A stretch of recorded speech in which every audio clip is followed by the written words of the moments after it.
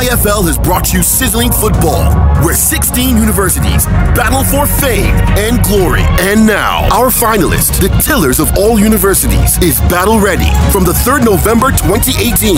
And so is our finalist, the greatest Malabites. It's UAM Tillers versus Unical Malabites, marking the HiFL closing ceremony. Lagos Agege Stadium from 11 a.m. Be there.